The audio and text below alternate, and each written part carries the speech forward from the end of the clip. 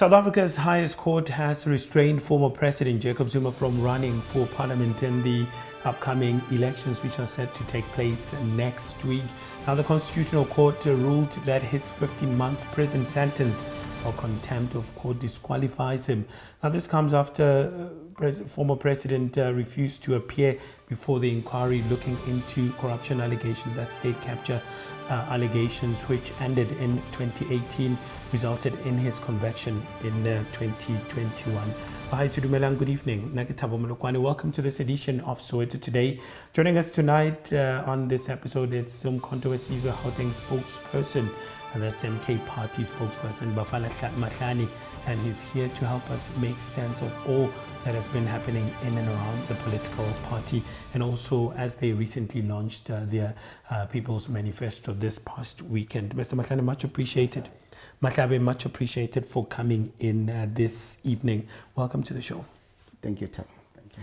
Um, I, I, think maybe let's start the conversation by, you know, what's been happening. The Constitutional Court yesterday ruling that uh, the former president eligible to contest uh, for the elections, but the IEC has released a statement that um, his face will remain on the um, ballot paper, but his name will be removed from the national list. Maybe let's get your reaction first on that. Well, good evening. Uh, let's greet uh, the viewers at home.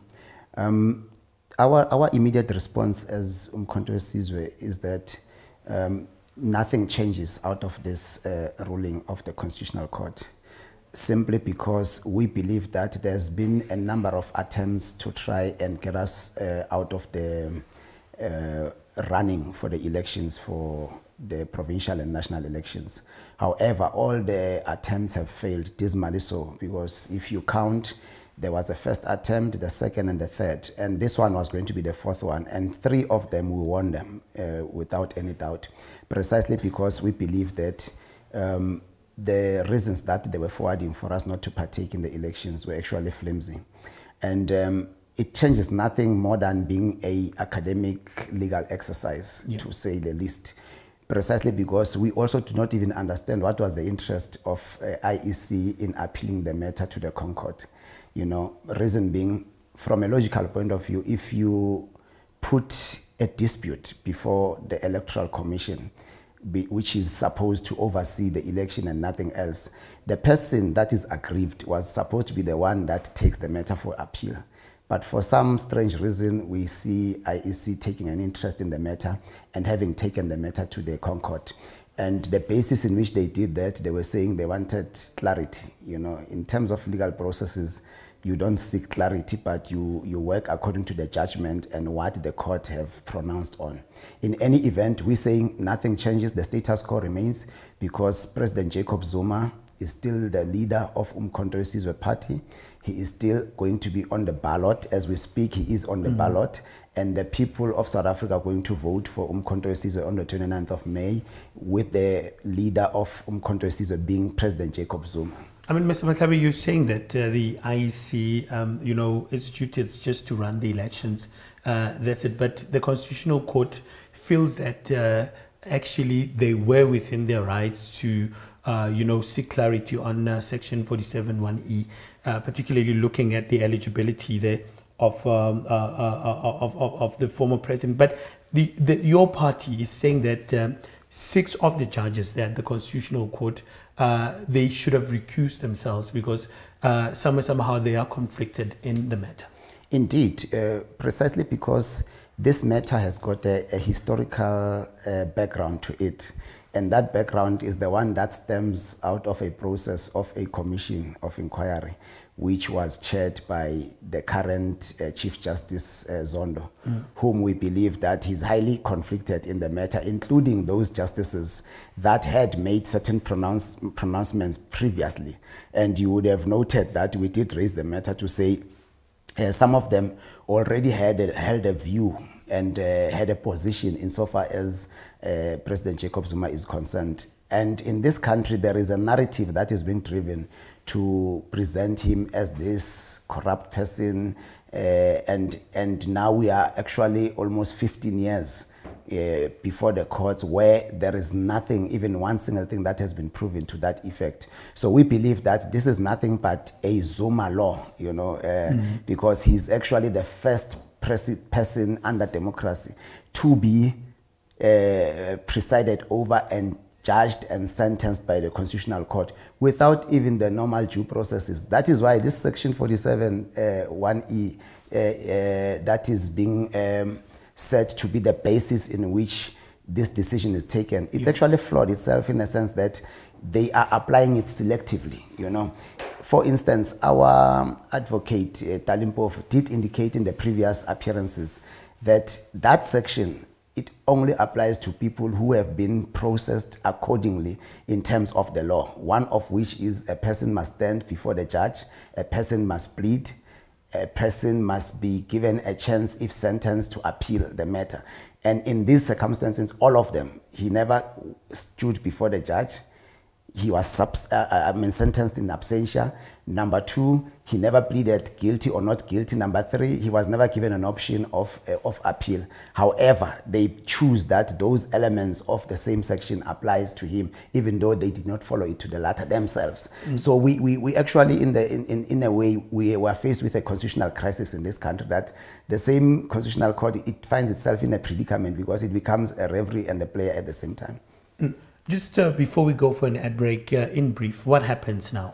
Um, um, uh, um, since now we know that the former president will be uh, on the ballot papers there, um, are you taking the matter forward as MK party? Um, you know, uh, in terms of, I mean, you've been saying that, look, um, uh, what you need is just two thirds majority so that you can be able to change the constitution because somewhere, somehow, it is infringing on the rights of South Africans. that is our position uh, as a party, uh, being MK party that uh, we are faced with a constitutional crisis in the sense that the basis of our laws in the country, they are based on some concept called Roman Dutch law, you know, which is very foreign to who we are as Africans. We believe that as MK party, maybe we need to go back to the drawing board where if we, we actually, when we win the, the elections with two-thirds majority, one of our assertion is that we are going to change the constitution. Amongst other things, we want to make a total overhaul of the judiciary to suit the circumstances that uh, uh, we are living in as Africans. So we want to introduce in the main the African law to say, look, you are telling us about the Roman Dutch law, but this is Africa, you know, and why can't we implement laws that speaks to us as Africans, you know? And there is also a narrative that is being uh, driven around to say we've got the best constitution, constitution in the world. That thing is not what we are saying, it's what we are told. And this thing was actually trumped upon us to a point where we believe it, that this is the best constitution in the world. My, our our, our, our uh, contention, point of contention is that if this is the best constitution in the world, why is it that is not favoring the poor of the poorest and the working class of our society? Why there is so much division in terms of the poor and the rich? Mr. Maklabe, we're going to take a quick break. When you come back, I want us to get into the manifesto, uh, you know, your key priorities as a party as we are a week away to the elections. Let's take a quick break. We're coming back after this. Welcome back. You're still watching Soweto Today. Thank you for choosing to stay with us. My name is Thabo Molokwani. Tonight we are in conversation with Bafana Mahlabi, who is the Gauteng provincial spokesperson for Umkhonto Wesizwe uh, political party, and he's here to discuss matters relating to it. Mr. Mahlabi, much appreciated for staying on. Let's talk about your key priorities. I mean, you launched, uh, you know, the uh, how people say that it's the manifesto, but obviously the party has a way of saying yes, it. Yes. Um, what are the key priorities? I know that uh, you are sitting at eight priorities as a party. Yes. Look, as MK Party, we launched our People's Mandate. We call it the People's Mandate. And the reason why we call it the People's Mandate, it is because we've actually touched base with uh, all sectors of society in the run up to the formulation of the People's Mandate itself. So amongst other things, we are looking at the issue of the land. We are saying um, the land must be returned to its original owners, you know, and the issue of the land cannot be tackled as one of those uh, by the way issues, but it must be at the center of the freedom of our people. So the land is one area that we're going to look at. We're also saying that we should also revisit the issue of how we run the country, meaning that we must also reintroduce the importance of the leadership of traditional leaders, you know, because basically the land belongs to the people and the, and the, the traditional leaders are the ones who are overseeing the land on behalf of the people. Therefore, as Umkhonto weSizwe, the, the importance of traditional leaders must also be elevated and we must work with all the stakeholders of our society, including yeah. the religious groupings. So there is the issue of the land, is the issue of the traditional leadership, but we're also talking about the issue of education. We're saying free education must not be a cosmic thing. It must actually be one of the fundamentals that our government is going to tackle. Uh, the issue of free education, we're saying that it must start from foundation phase up to the first degree, you know, wherein uh, an African child is going to be supported and protected through a free education. So that uh, we have a society where we are not creating dependency but we are creating self-sufficiency you know. In that sense if we have free education we'll also be dealing with the issue of economic disparity at the same time because the more people are educated is the more that they can take care of themselves and the state does not have to carry the burden of, of, of supporting people you know so do you have a number like for instance in terms of the jobs i mean everyone has been uh, you know throwing figures around that we're going to create Five yeah, million look, jobs and stuff. We, we, we don't want to go into that fray. Mm. The, the reason being simple is that people are making very uh, funny uh, promises to people. You know, for instance, I'll make an example with the ruling party. They are saying they're going to create 2.5 million jobs in the next com coming five years. They've been in power for 30 years, you know, and as we speak, last week, uh, it was reported that unemployment rate is sitting at 32 point something percent.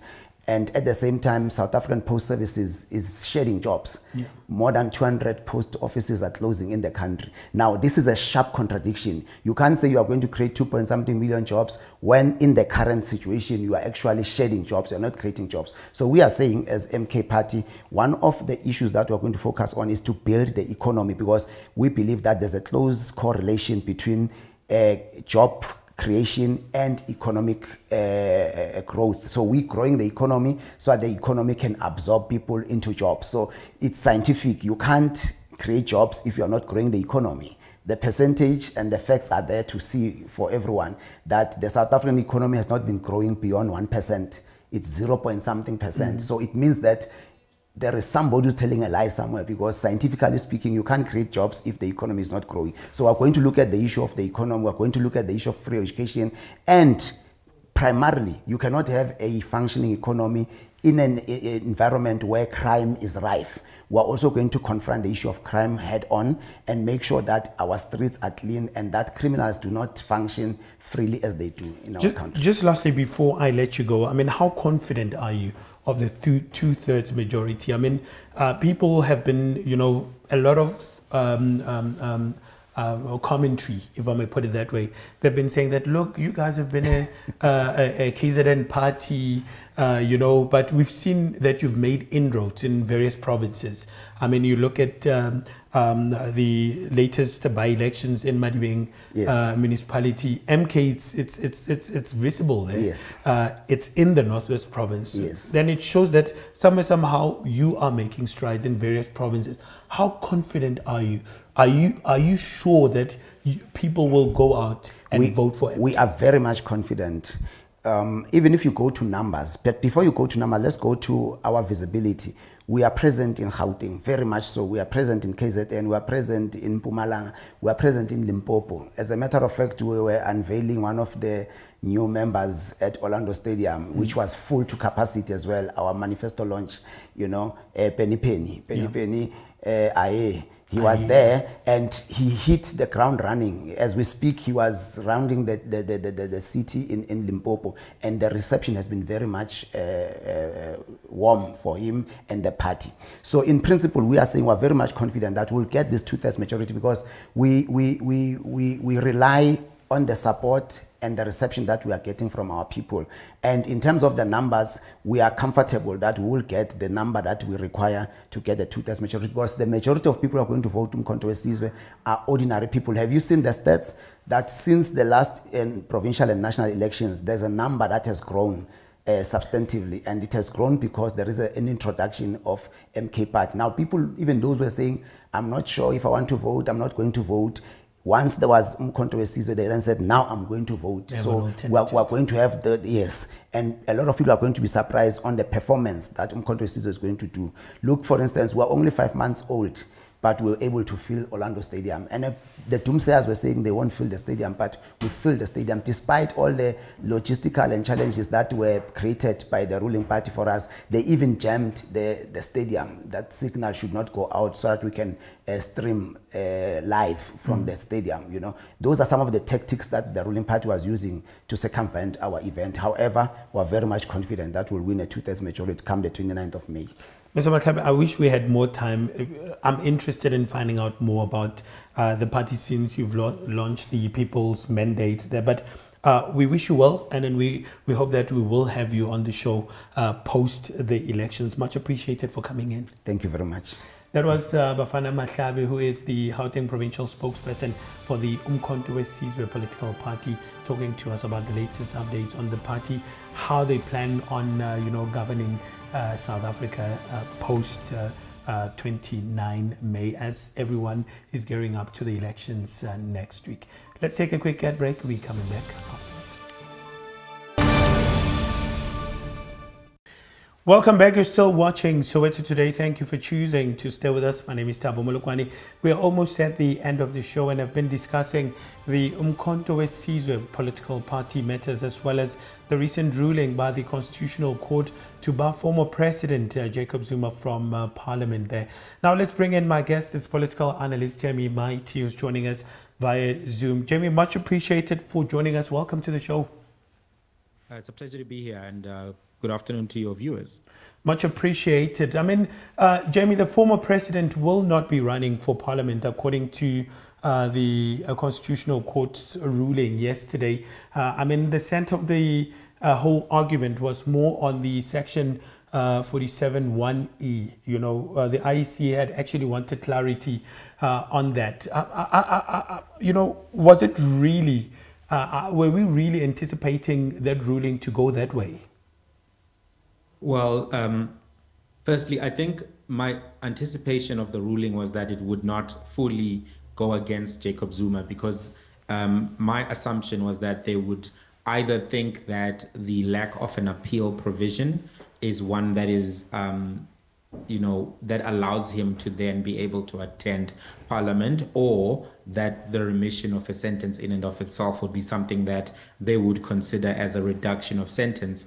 But uh, the Constitutional Court uh, judges interpreted it differently from what I had interpreted, and fundamentally they were more concerned about preventing people who are lawbreakers, uh, quote unquote, from being lawmakers. And the purpose of, the purpose intent of the legislation that they read in was that it does not necessarily create backdoors for individuals who are you know facing criminal sanctions even if those criminal sanctions have um, no appeal provision because they happened in the constitutional court so they took a very um, tough position on it and i thought that he would win on one of the points but unfortunately for him he lost on all of them.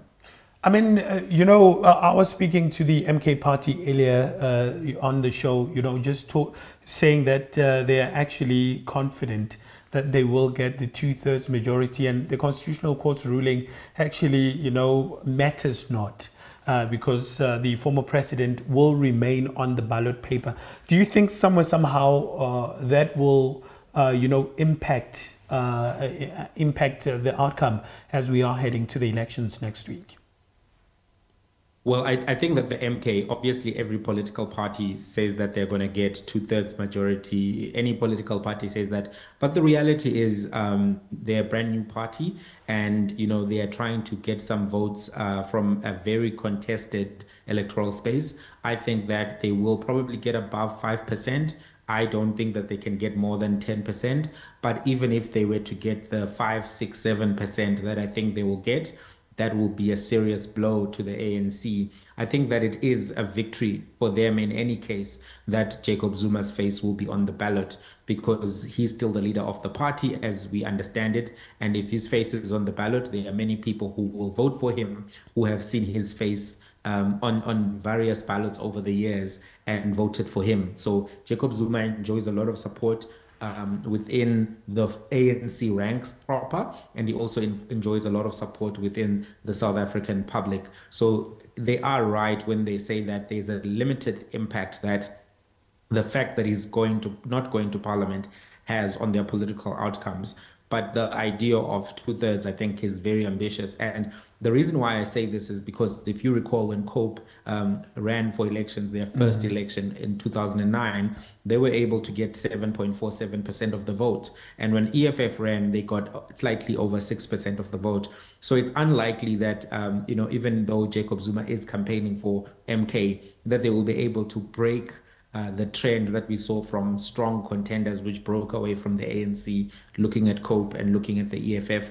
And the EFF is still uh, a, a, an existing political party right now with 10 years of history, and they've just crossed over the 10% mark, and maybe they'll hit the 15% mark. It takes time um, to really build a political vehicle that can get those results. And even though Jacob Zuma is an experienced politician and they did have strong turnout at their rally, I don't think that they can hit two thirds, in my opinion. Jamie, before I let you go, I'm in two questions now. Um, you know, um, what happens now? Uh, obviously, the MK party now will have to uh, somewhere somehow look for a replacement for the former president. Uh, uh, you know, for the person to become the um, uh, the president, for instance, if uh, uh, they get that two thirds majority and, and and stuff. But um, also, you know, the in, I'm interested in finding out um, how do you see this thing play out as we're seeing uh, one of the former leaders there, uh, Jabulani Khumalo, uh, saying that he is somewhere, some, somehow going to the courts also to fight this issue. How do we see this playing out? I mean, we're just a week to the uh, uh, the national and provincial elections. Do we see this having an impact somewhere somehow? Well, to be honest with you, uh, the first thing is that I think they will choose a leader of the party in parliament if they get some seats. Jacob Zuma can remain the president of the party even if he's not in parliament. If you think about uh, Helen Zille, she's the chairperson of the federal executive of the DA, mm. and she's not a, a member of parliament. You can occupy leadership positions without being in parliament. They will have to choose a leader to negotiate coalitions, etc. Uh, when it comes to the other debate around the Jabulani Khumalo issue. Let's wait and see what the electoral court says. But as things stand right now, I think that we saw who the people of Umkhonto Wesizwe party view to be their leader, and that is Jacob Zuma, because nobody was looking for Jabulani Khumalo at the rally. And if he indeed had a leadership capacity and indeed had a claim to any of those audiences, he would have been able to, uh, you know, find uh, expression in that rally. But he does not have any. And I think we've seen this happen sometimes in other African countries where some people have said, no, I own, you know, the MDC party, for example, and then Nelson Chamisa then mm-hmm. goes and starts another thing. At this particular point, even if they called it MKPP, you know, people would still follow Jacob Zuma and not necessarily Jabulani Khumalo. So I think the prospects that he has for success is, are not very high in terms of being able to regain control of the party. Jamie, much appreciated. I mean, very interesting developments indeed. We will pay attention to these as they unfold as we are heading to the elections. Much appreciated for coming in. It was a pleasure. Thanks for having me. That was Jamie Mighti, there, who's the political analyst, giving us a political perspective of the implications of former presidents' ineligibility to run for parliament after the Constitutional Court's ruling yesterday. We know that he will be removed from the national list to parliament by the Electoral Commission of South Africa there. Uh, the MK party maintaining that they will definitely get a two-thirds majority so that they can be able to change uh, the constitution of South Africa. We'll wait and see after the elections. Well, that's how we wrap up today's episode of Soweto Today. Remember, we love hearing from you, so please feel free to talk to us about this episode. Send us an email at sowetotoday at sowetotv.co.za or you can call us. So WhatsApp us is 081 531 8857. Bahai Churidi from myself, Tabo Molokwane, and the rest of the team. It's good night from us, and thank you for watching.